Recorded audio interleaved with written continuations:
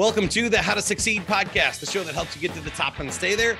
This is how to succeed at raising your sales.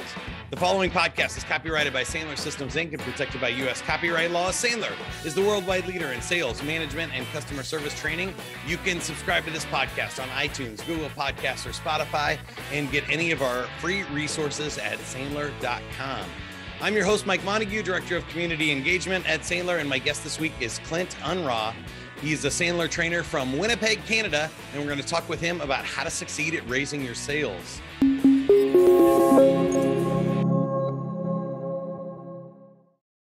Clint, welcome to the podcast. Tell me a little bit about raising your sales. What does that mean? What are we talking about today? Let's get into it.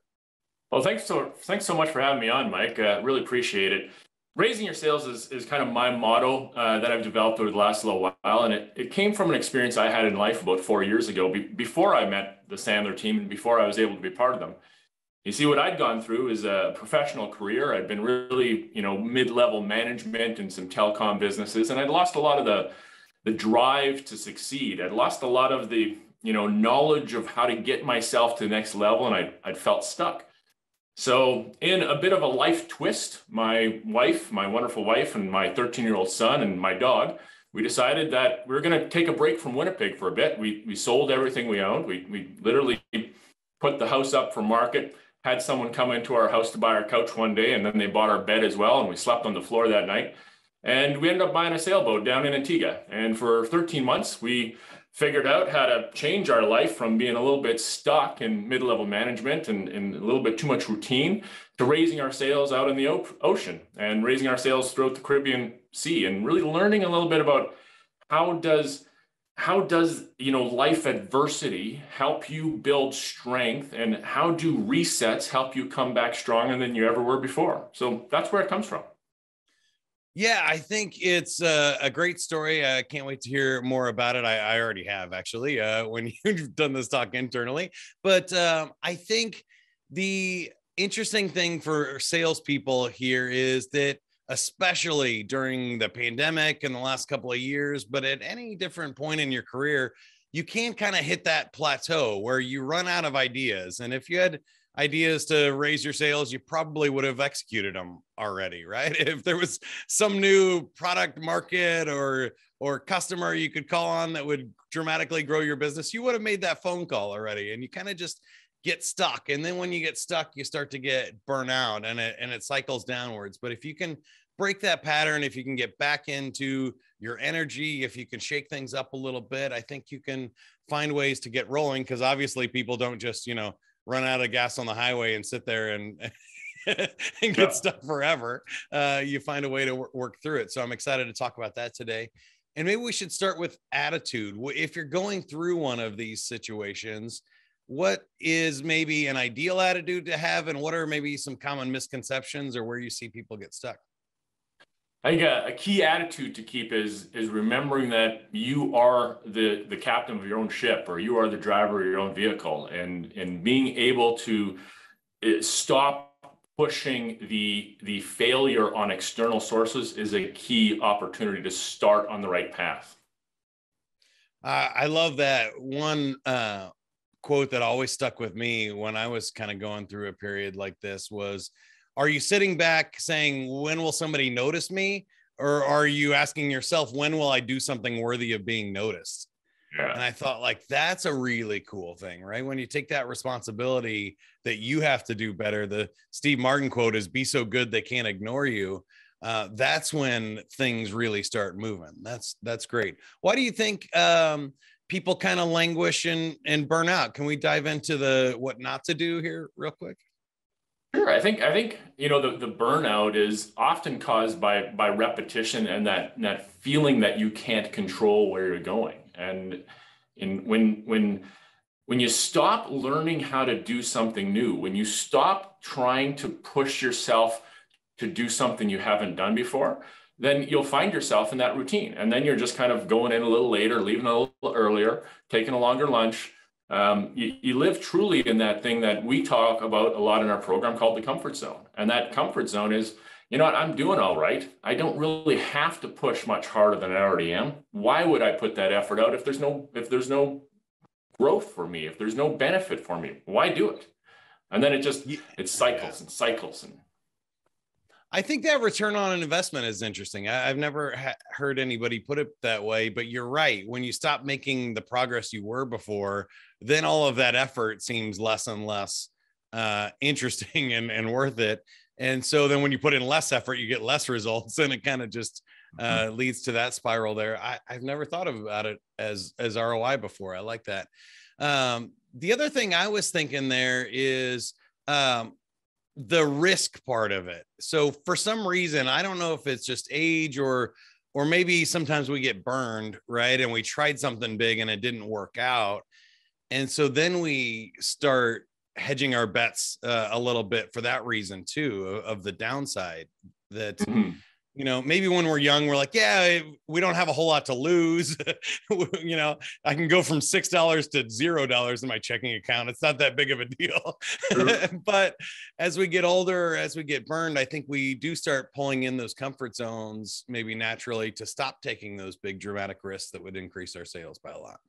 Yeah, you start hedging your bet. You're looking at this thing and you're like, well, I got this defined benefit pension plan. I, I shouldn't go anywhere because people think that's a foolish thing to do. I shouldn't change things. I, I would be throwing it all away. You hear, we judge ourselves so much on what others say to us that we end up, you know, stopping ourselves from doing the things that we truly want to do. And if you can't, kind of put some of those messages away and eventually just put those in a lockbox and push them out of the way and realize that you got to do what's going to help you be strong. You got to do what's going to get you to that next place and and and then do it and then take the risk. Take the calculated risk, but don't be afraid of the unknown either. I think a lot of people are so afraid of the unknown that you just get paralyzed. And to me, that takes us right to behavior. I know the Sandler rule comes to mind for me that it's not how you act that or not how you feel it determines how you act it's how you act that determines how you feel. And i think that can be true but that can also be easier said than done. So when you think about the goals plans and actions sometimes i think it is actually an intellectual attitude of, you like taking a big risk to shake things up and and go live on a, a boat that that is actually changing your behavior too because you don't have a choice. You can't work the daily commute and do everything that you used to do before. So uh, I don't know whether that's attitude or behavior, but how do you think about it here when we're we're trying to actually do something different? Yeah, I certainly put it in, in in that behavior bucket because you know when when when the routine creates that poor behavior, right? That routine of not doing something new, of not trying something new, and it just puts you into that same routine. And by breaking it, you can really kind of see the possibility of what you can now do. And when I think about the the batting triangle, when I think about behaviors, attitudes, and techniques, you know, you know, it. I found the the the life trip that we did really helped my attitude switch a lot. It was one of the easiest things to kind of rewrite what it is that I thought of the world, what it is I thought of my opportunities, what it is I thought of where I could be in life, and what it is I thought I didn't even know I could help other people be. Right? That was that was mm. outside of my realm of thought at the time and but so attitude got got fixed. It got fixed really well. When I look at my where I'm growing all the time, it's the behavior. The behavior is the one to me that is like I can learn my techniques. I can figure out how to do things. I can I can engage with people when I need to turn it on. But it's that behavior that is the toughest one to create those really strong, repetitive good behaviors where you've got a good routine for the week, a good routine for the day, where you know what you need to accomplish and you go out and do it. And I think I, th- I feel like that's where a lot of other people struggle the most as well. And for me, I really have to focus on that side, and I really have to focus on on making sure my clients and the people I get to work with see that it's the behavior that's one of the biggest things to to fix early on. I agree with all of that, and I think it's also the important behaviors. So maybe not just the right behaviors or the the right habits, but spending your time in the stuff that matters. When I when I think about raising your sales dramatically, uh, I think you have to change what those behaviors are. So they can't just be making more calls. It's got to be making better calls to better people and better prospects uh, in order to get better sales and better profitable accounts, right? I, I always tell the story uh, of a guy we had in our Sandler training named Dale who was uh, selling roofs, and he would do over 365 proposals a year. He would get up on a roof, measure it, make the proposals, and sell them. He was the top roofing sales guy. Uh, fast forward, I'll make the long story short. Six years of Sandler training later, he got on two roofs and made one sale for four million dollars. and which of his lives do you think were more balanced and more yeah.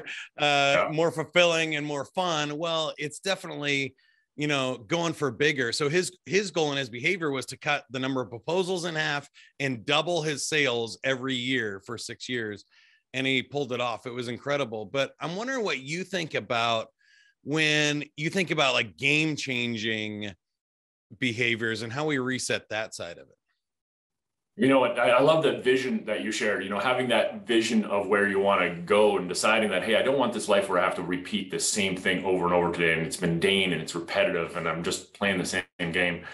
But I, I love that too like game changing kind of goals is is deciding that you have the confidence to go after things that are more outside your reach. We all naturally have these beliefs that that you know i can be a little bit successful in one area start a business and actually just about three years ago i started this business and i had six people around the table.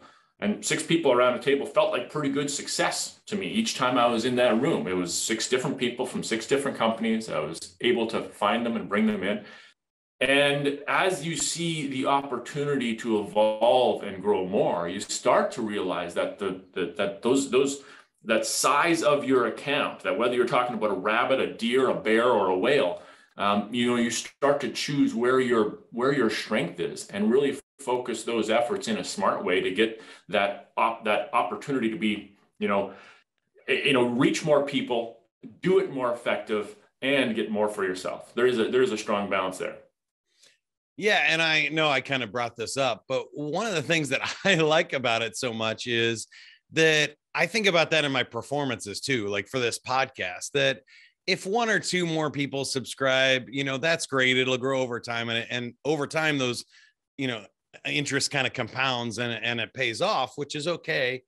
But what I find really exciting is when I get to get on stage at the summit in front of 1,200 people, or I find a, a new audience and it grows by hundreds or thousands. And so I think to break that pattern of languishing and struggling and just you know, repeating that same, you got to find those experiences that get you excited that you go, oh man, this one's different. I'm my hand's going to shake a little bit, or I got to really pay attention, or I'm jumping out of bed for this one because it's a special day. And I think those moments are sometimes what people optimize out of their behavior when they're trying to play it safe and build like a nice safe habit. Eh, you know, I, I, you know, to feed on that, one of my clients actually told me a great quote just a little while ago. He said, one of the best skills you're going to learn is the ability to forget the skills you learned in the past. So, what I wonder about when you talk about that, and when I think about my situation too, is we get to these plateaus, right? The podcast might be doing this. I know my social connections are, are, are at that kind of podcast, but now it's, well, wait a second. What got me here might not be what needs to get me to the next step. Now, what do I need to figure out how to evolve, to shift, to take the people that I've already got and bring along that next level and get that new strategy going. I think that comfort zone is also we we have some success and then we just let it get to where it got naturally. And then suddenly we don't remember, we got to still push it. We got to still change something. We got to learn something new. We got to figure out how else to do it. Where do we go from here?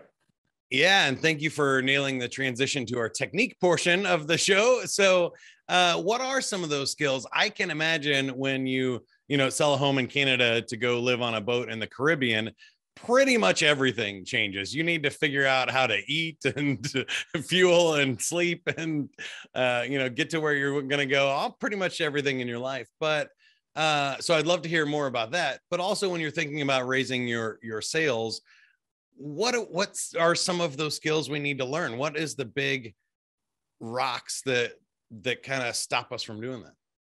you know, I, I got to go back to our theme. We talk about all the time. What are my behaviors? So if I talk about my skills that I got to do is is really getting strong on the tonality in my prospecting work. You know, I, I found that the evolution of the tonality has been a struggle for me. I in in past I've been very very direct. Sometimes I come across as condescending. So when you start to become aware of how you've you've spoken in a way that you just feel you're being natural, but it comes across as condescending to other people, you start to have to take a new awareness of exactly what you sound like. You have to take that feedback and figure out how do I tweak this so that my belief, the beliefs that I'm trying to tell myself to believe, truly come through in the way that I communicate with people. And one of those think about that first few minutes on a cold call. I know we we we talk about cold calls forever, and and, and as we see in our business, it, it's becoming more important to do them along with combinations of other behaviors in order to make new connections and, and get out there and see people. But if you can't start that phone call in such a way that you can accept the fact that this person on the other end of the line might not be the one that's desperately waiting for your call, if you can't have that confidence that it's either going to be a match or it's not, and it's okay either way, you're going to fail at it. So I think the, the biggest technique that I've been focusing on for me is figure out how to manage that tonality, figure out how to manage that connection with other people. Use all of the skills that we're taught at bonding rapport, disc profiling and transactional analysis to really make that engagement stronger. Yeah, that's that's good. I was thinking about in uh, you know, in changing the game too. Uh, I know it's a stereotype, but I got to imagine a condescending Canadian. If you moved to like Boston, you would be the nicest guy in the room. Uh, it'd fix your problem there. Maybe, maybe that's just change the scenery again, right? Go somewhere else, and and uh, you don't come across that way anymore. There you go. And I think I just offended two groups, Canadians and uh, we're okay to laugh at ourselves from time to time. We like it. Uh, all right. And uh, so I think that's great. Uh, that's definitely one. I think tonality also kind of, to me, leans back into that attitude and reframing. Well, maybe it's not just doing the same thing harder. Maybe I need to change and do different things. And that kind of goes towards the attitude and behavior we're talking about, but also in the techniques. I, I think we see a lot of salespeople who try to go more positive rather than maybe going towards the negative, which breaks the the pattern and, and do something different. And so, uh, you know, again, David Sandler said, if the competition does it, stop doing it and, and try something else. I feel like in this situation that we've been talking about, that's the whole game. That if what you're doing is getting you this current level of results, you have to find a new technique and you're going to have to take some risks and learn how to do things poorly in order to get to do them well. Do any other techniques right. come to mind here?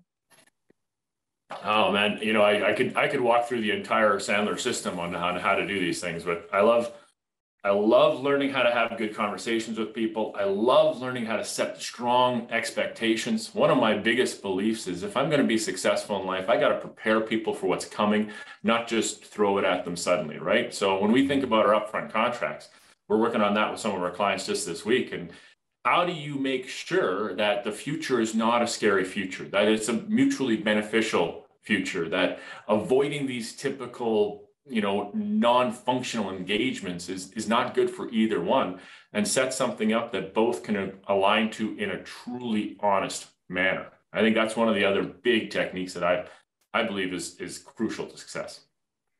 All right, and then I want one fun one for anybody who's thinking about, you know, going to do their sailing trip around the world. What's one technique they need to know before they buy the boat?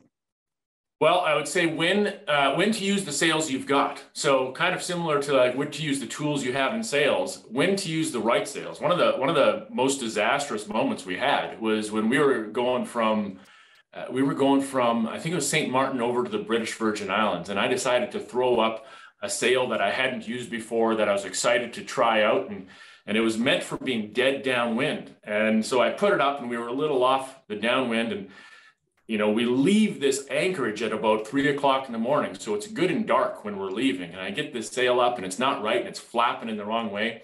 I go up and I try to use this this sail that I'd never used before. I put it away and it doesn't go away properly. So now I've got a problem with it flapping around the top you know, a couple hours later, I was finally able to go up on deck. So now I'm in the middle of the ocean. I go up on deck, and uh, and I, I go to try to take it down, and it's jammed and it's not working. And we got about eight hours to sail still, and I want to fix this thing.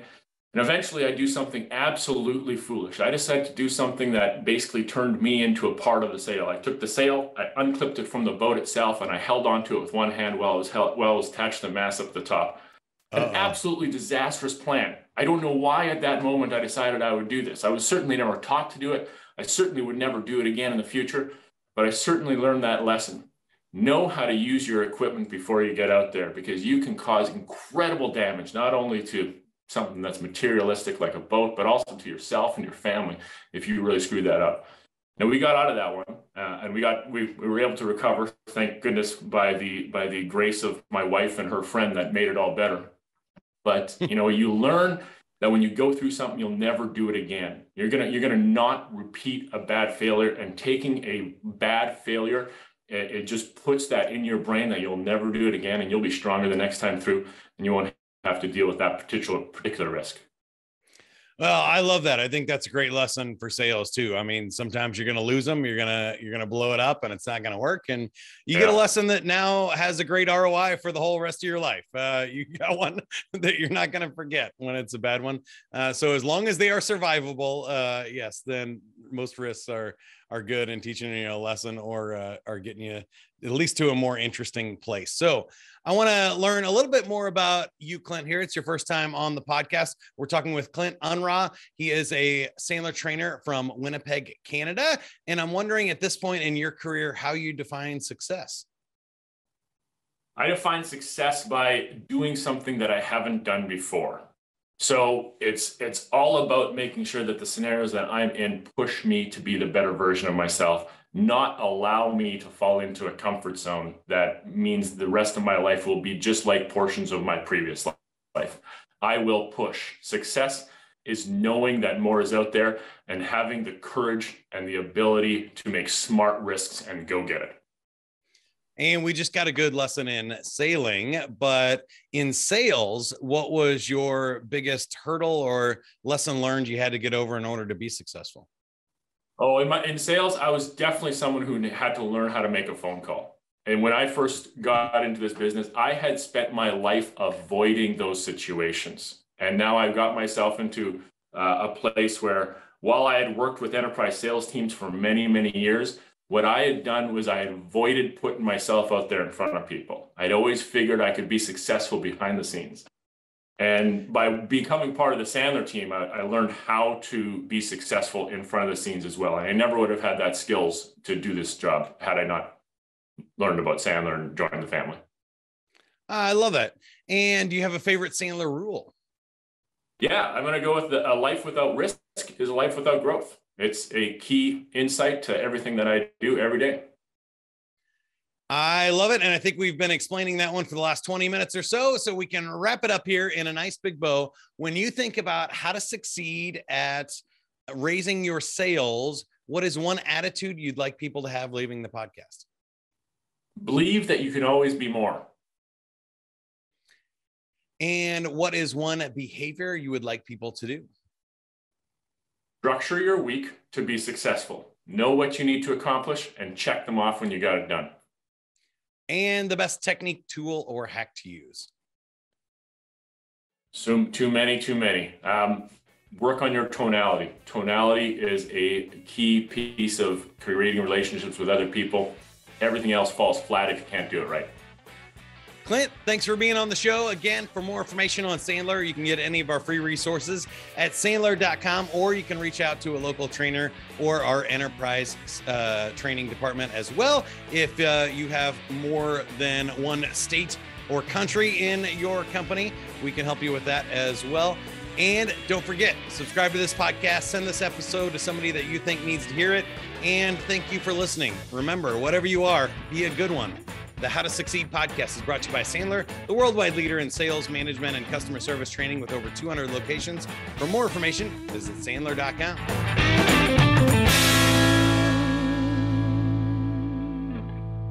The Sandler Summit returns